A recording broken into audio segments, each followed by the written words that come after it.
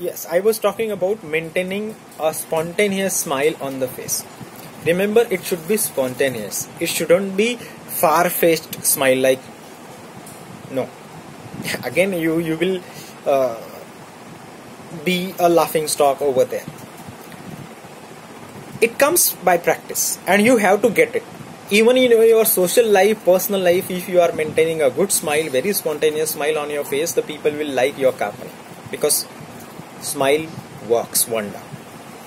The next one is don't look at one particular audience or observer.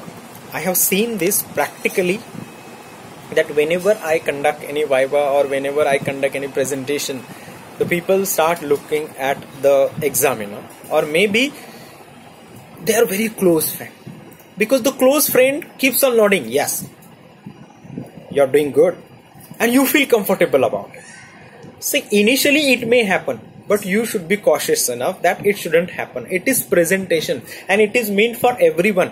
It is meant for the examiner, it is meant for the audience, it is meant, meant for your, uh, your friends or anyone who is sitting in the hall. So you must make sure that you must put on efforts to look at everyone. Don't look at one particular person sometimes if the person don't know you and if you are looking at them continuously the people feel uncomfortable that why he is looking at me only. So please maintain eye contact with everyone and don't look at one particular person. The next one is don't use one word. It may be okay okay and and and or if you have observed my own speech i use definitely and particular. These two words are very uh, i am very fond of. So what happens because of this one particular word which is being used on and off on on and off on on and off on at one stage the audience start counting that how many times the one particular word you are uttering. Even uh, you can recall your professors. They are very much habitual of one particular word. It may be anything. It may be anything. Like okay and let's do this and let's do that particular definitely if you might have observed even me my speeches my videos that one particular word i am very much fond of. Avoid it. You have to put some efforts in avoiding one particular word. Even one particular movement sometimes you are habitual of just touching your nose unnecessarily. Unnecessary. Whenever there is a pressure we want to release it somewhere. Sometimes the people start fidgeting they touch their uh, their hair unnecessarily. They, they touch the sleeves. They simply pull the sleeves and all.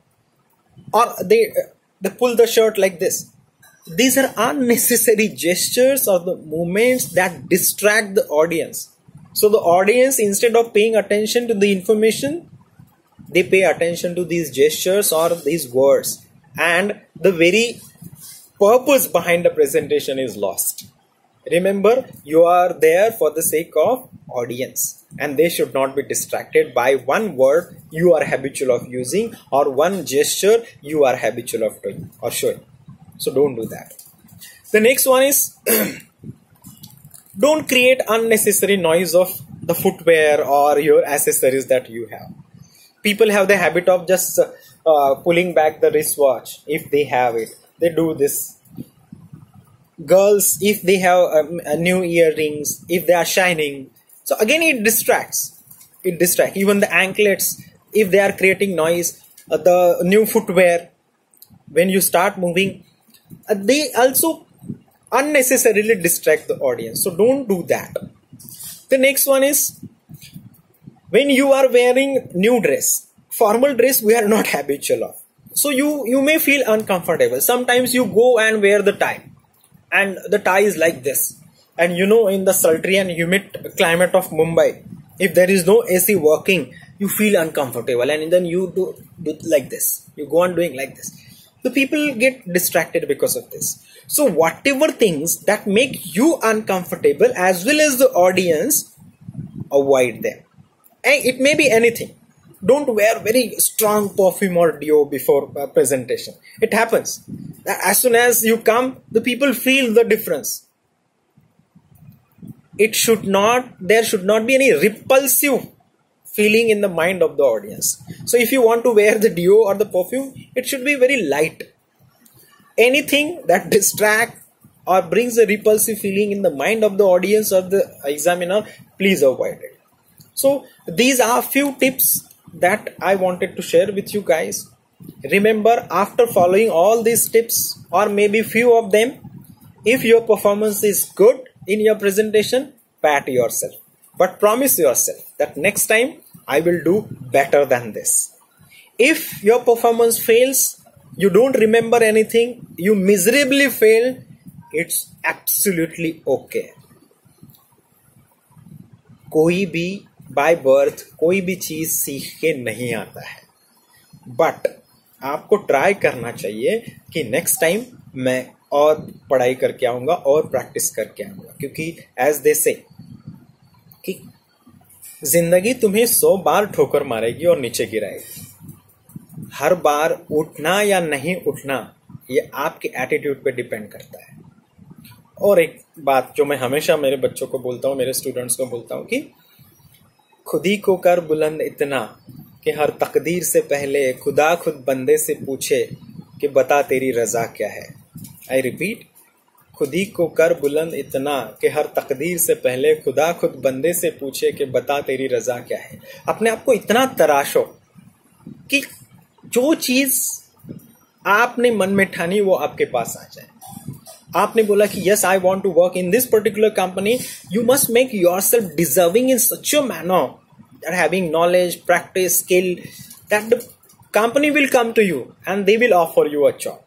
Or you can have your own enterprise you can have your own business. You should have you should prepare yourself in that manner. That is what the quote says. I wish these three videos before the presentation how to make effective slides and how to make actual presentation. I have given you very primary tips and they will definitely help you in your project presentation or anywhere whenever you want to do presentation. Most of you are doing really a great work. Whatever six or seven assignments i have given you most of you they have done a fabulous job. I have responded to each and every whatsapp message or whatsapp assignment that has been given to me. And in future till the lockdown is over i will continue with such videos. This is what we are doing the revision of all our syllabus. And these topics are such that they are applicable anywhere.